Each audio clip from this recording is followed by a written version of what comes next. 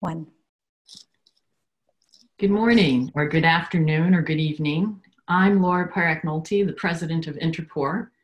And wherever you are joining us from around the globe, on behalf of the Executive Committee, I welcome you to the 12th Annual Conference of the International Society for Porous Media, also known as InterPore. InterPore is a nonprofit, independent scientific organization for porous media researchers from academia and industry, and it was founded in 2008. This is our first virtual con conference, and we're pleased that you could attend to listen to the presentations, participate in discussions, reconnect with colleagues, and also forge new connections in your network. The program committee has crafted presentations and sessions that encompass a wide range of research and applications from water and energy to agricultural, biology and biomedical engineering, as well as subsurface science, and also includes many fundamental studies related to flow and transport in porous media.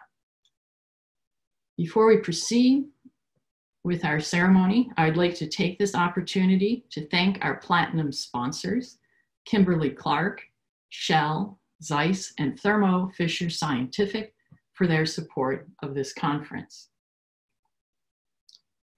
As in past years, when we've had in-person conferences, we like to provide a brief overview of the InterPore activities for 2020.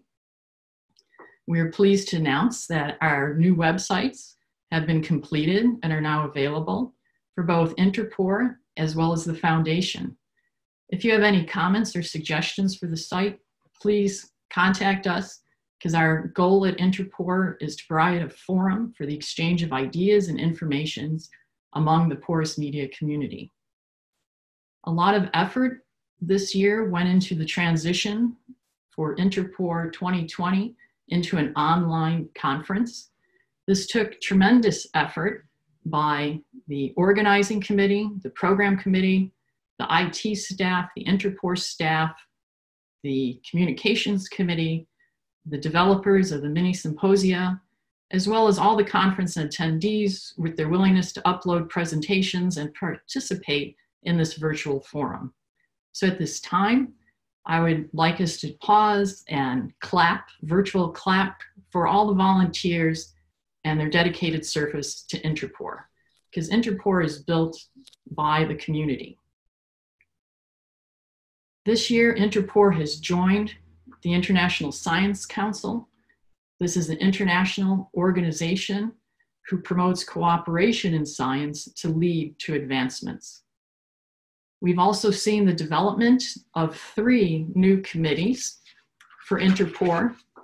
The first one is the Financial Committee, which provides oversight for InterPore finances and is to provide stewardship to ensure the health, the financial health of InterPore in the coming years. We've also established an industry committee with the goal of reaching out to industry to determine are we encompassing all aspects of porous media that are relevant to society today. Because of the growth in membership and national chapters, we now have a national chapter committee we have increasing interaction with different national chapters, and we're expanding the role of national chapters in our InterPore activities. Our national chapters now stand at 16, and we're pleased to announce that we had three new national chapters form in 2020, which is Greece, Spain, and Saudi Arabia. And this adds to our current members, which includes Australia, a coalition among Be Belgium, Netherlands, and Luxembourg, Brazil, China, Colombia, France, Germany, India, Iran, Italy, Mexico, Norway, and the United Kingdom. Right now, under formation are three additional ones, one in Austria, Sweden, and Canada. If you're not familiar with your national group because you're new to InterPore, please drop us an email and we'll tell you who to contact in order to become part of the national chapter. If you're in a country that doesn't have a national chapter, also contact us if you're interested in forming one and we'll provide details of what is expected. The InterPore membership continues to grow. As we mentioned, it was formed in 2008. We roughly had a membership of around 100 people, and today we're approaching 2,000. For those of you who are new to InterPore, your registration for this conference includes a one-year membership and is renewable every year at the conference time. The InterPore Foundation is celebrating five years since its formation. It provides educational support and outreach for the InterPore community. This year, it's, uh, they have sponsored 16 conference grants so young researchers can attend the InterPore 2020 Symposium. They also hosted a forum related to COVID-19 and what is the role of porous media in this pandemic. And one of the interesting things they had was a face mask competition uh, to design face masks by students.